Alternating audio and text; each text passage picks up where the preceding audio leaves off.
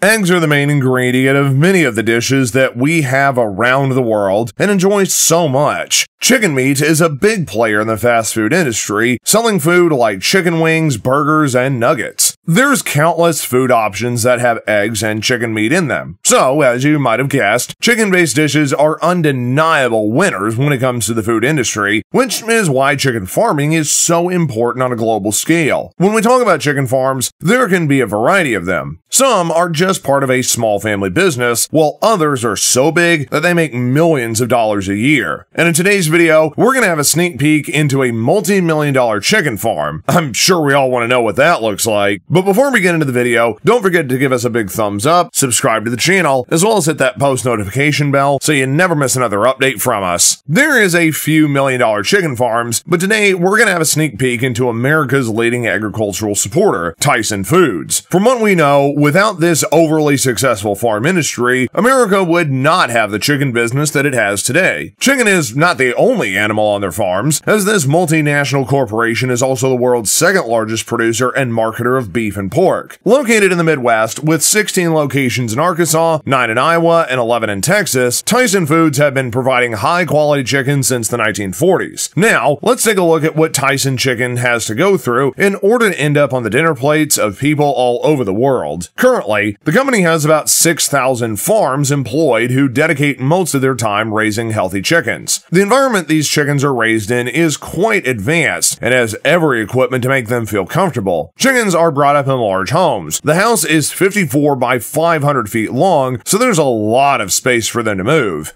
These houses are thermostatically built. In winter, automatic heaters keep them warm, and in the summer, fans and cooling cell pads help with circulation of air and keep the chickens cool. These large homes also have an automated feeding mechanism for birds. There are nipple drinkers with a push button, so that way the chickens can drink water whenever they want and are provided with an endless supply. There's also automatic feeders that give chickens specially formulated food, and there are many people involved in raising these chickens. They have animal well-being specialists that take care of the bird's health, nutritionists that provides chickens with the right amount of vitamins, minerals, and so on. As we see, these chickens are in good hands. It's impressive that most of these birds are uniform in size. As described above, they're kept in a very comfortable environment, and whenever one of them gets sick, an animal well-being specialists take good care of it and helps it to recover. Now let's talk a little bit about the popular myth that Tyson Food uses antibiotics in the chicken's food and water. To be honest, that is far from the truth. And in fact, Tyson Foods has a no antibiotic ever or NAE policy. It's widely used method to add antibiotics to the food so that chickens don't end up getting sick. And it's shown to have many adverse side effects on the birds. What is more is that nobody wants to have antibiotic impregnated food on the table. In 2017, Tyson Foods had announced that all Tyson branded chicken would be having no antibiotics ever marked on the product. This makes Tyson Foods the leading producer of NAE chicken around the world. So what does NAE mean? Well, it means that at any phase of a chicken's life, from egg to slaughter, it's not given any amount of antibiotic as a preventative medicine. The managing director of veterinary medicine at Tyson Foods, Bill Hewat, says, quote, While we are the world's leading producer of NAE chicken, you should know we do occasionally use antibiotics, but for good reason. Just like people, chickens can end up becoming ill, and if they do, it's our obligation to treat them. We start by using non-antibiotic treatments that may include probiotics, essential oils, and certain mineral salts. If these treatments don't work, a veterinarian like myself will end up providing a prescription for the antibiotic. So, antibiotics are only used for treatment and not for prevention. What's more, antibiotic treated chickens are not labeled as NAE. As Bill Hewat continues to say, quote, in 2017, less than 1%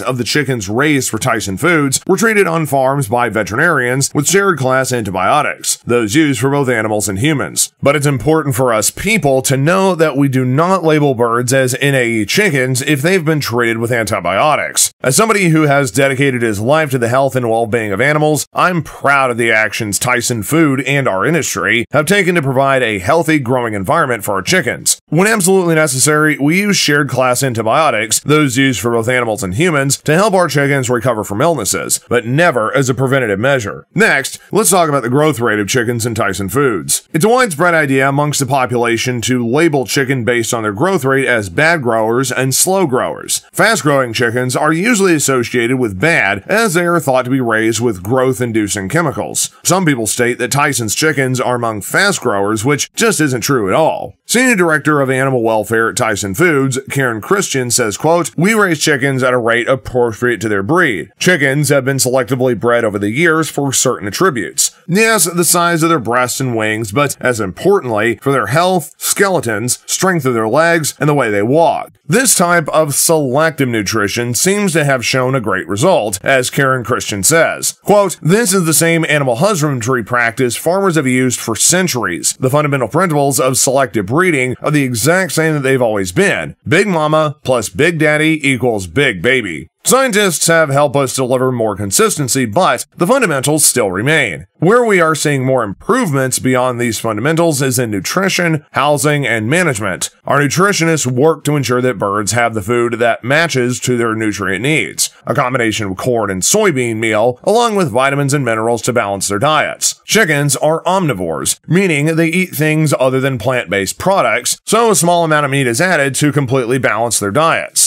What we're trying to say here is that chickens can grow at any rate. They're provided with appropriate nutrition and the rate at which a certain breed grows is individual. What's more, there is no evidence that slow growing chickens are healthier. What we do know is that slow growing breeds come with an impact to the environment, as these breeds are far less sustainable and aren't a long term option for feeding our planet's rapidly expanding population. The main goal of the Tyson Foods is to raise a healthy chicken, regardless of the rate at which it grows. It just so happens that most breeds for this industry tend to be more on the side of fast growers. As someone who has spent my life in animal welfare, the care of the animal is top of mind for me when making choices about the food I put on my dinner table. That is true for Tyson as well. The welfare of chickens is critical for us throughout our supply chain. The success of poultry farmers and Tyson Foods revolves around a shared commitment. Care for our birds, says Karen. Finally, we'll address the rumors going around that Tyson Foods is treating its contract farmers unfairly. Some people have claimed that this huge meat industry is using its market power in a profitable and abusive way to the farmers, cutting down on their payments. Now, we don't want that, do we? Some farmers even took this unfair behavior to court. Charles Morris is one of the farmers who leads this case against the organization. Quote, I had been growing chickens for years in Florida before talking to Tyson about moving to Kentucky to grow chickens for them. We were negotiating the sale price for the chicken houses, and I was about to walk away from the negotiations when they dropped the price significantly. They were almost begging me to take on those houses. That's what they do. They offer potential growers seemingly sweet deals to get them into the business, and you might do well initially, but things go downhill fast, says Charles, about the experience that he got while working with Tyson Foods. They also said, quote, Tyson can't grow these chickens because they don't make the money doing it. The company knows this. The industry also knows that once a contract farmer chicken house goes up, they're going to grow chickens even as they sink into debt. Cutting the payment to farmers, who are the core functioning scaffolds in this industry, is very dangerous, as it creates mistrust and will most definitely affect the quality of work. So, we're left to hope that this problem will be solved. On that note, we've come to the end of the video. Those were just a couple of details that we discussed about this million dollar chicken farm. There's also more ways to think about Tyson Foods, including their products